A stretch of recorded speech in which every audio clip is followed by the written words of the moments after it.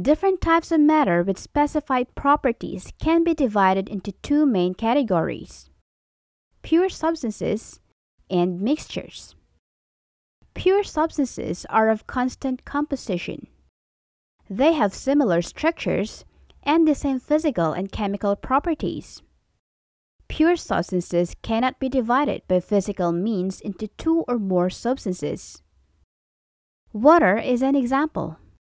On the other hand, mixtures consist of two or more component substances that are physically combined without definite proportion and can be distinguished by ordinary physical means.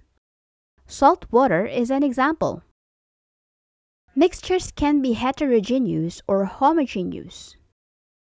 A homogeneous mixture, even though it consists of many components, has only one phase.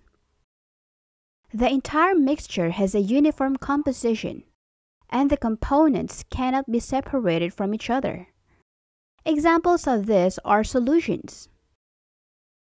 Heterogeneous mixtures consist of two or more different phases that can be easily identified because they are formed separately. Its composition is not uniform throughout the mixture. An example is a mixture of oil and water. Heterogeneous mixtures can be further categorized into suspension, colloid, and coarse mixtures. A suspension is a mixture of liquids with particles of an undissolved solid. Salad dressing is an example of a suspension. A colloid is an intermediate between a solution and a suspension. Particles of a colloid do not separate and can be distinguished using a scattering of light called Tyndall effect. When light passes through a colloidal solution, Light scatters because of the particles dispersed in the solution. Lastly, coarse mixtures are those which are simply combination of two or more substances, whose particles are larger than those of suspensions and colloids, and which are easily identified by naked eyes.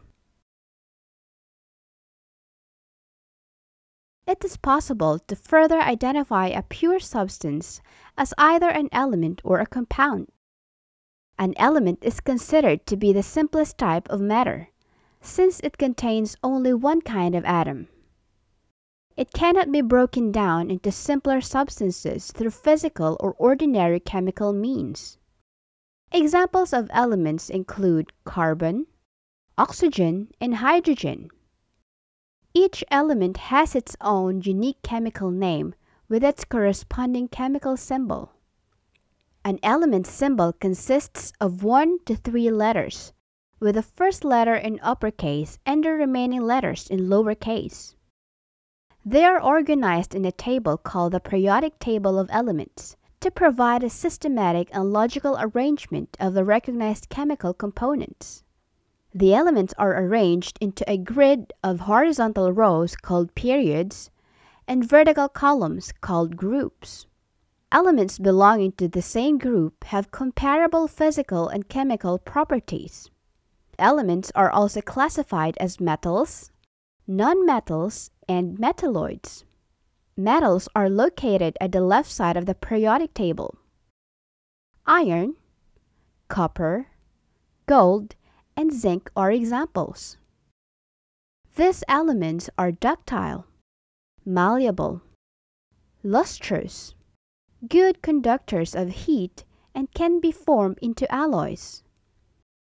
Nonmetals like oxygen and chlorine are found at the right side of the periodic table. They are non-lustrous and poor conductors of heat and electricity. Semimetals or metalloids are those elements between metals and nonmetals. Examples of these elements are boron, silicon, germanium, and tellurium.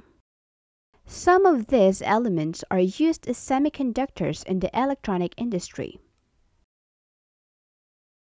A compound, on the other hand, is another class of pure substance.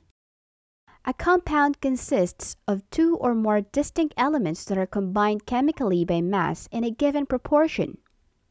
Each compound has physical and chemical properties that form properties of its component elements in a specific way. Water, composed of hydrogen and oxygen, is an example.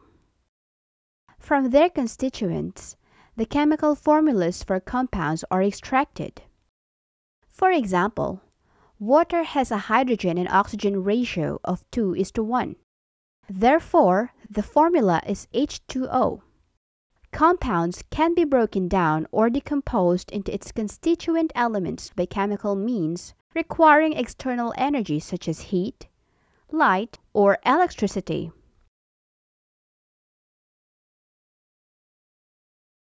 That ends our lesson for today. I hope you enjoyed learning with us.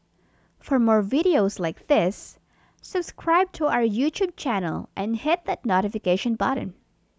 I'll see you in the next lesson.